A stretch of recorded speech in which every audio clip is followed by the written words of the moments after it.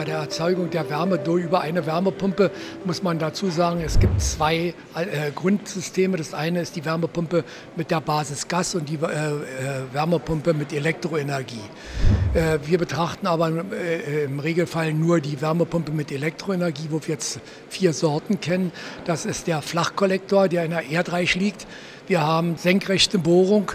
Äh, und dann haben wir die Wasser-Wasser, Grundwassernutzung und wir haben die Luft-Wassernutzung. Relativ billig, weil wir uns das Bohren sparen, ist die Luftwärmepumpe, die aber den Nachteil hat, dass sie sehr geräuschintensiv ist, sodass es irgendwo auch störend wirken kann.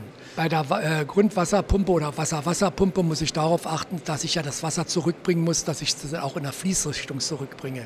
Sonst habe ich ja keinen Kreislauf. Ich kühle das Wasser ab und muss es ja wieder nach unten zugeben. Äh, dass die äh, praktisch nicht Gegensteuer im Erdreich jetzt hier sehen. Äh, die anderen beiden Pumpen, die Kollektor, sind ja über Kühlmittel.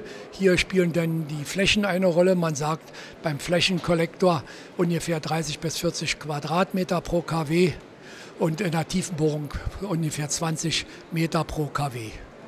Auch bei den Wärmepumpen muss man davon ausgehen, dass äh, der Einsatz sehr unterschiedlich sein kann. Äh, dort, wo ich keine Flächen vorhanden habe, kann ich auch keine Flächenkollektoren einsetzen.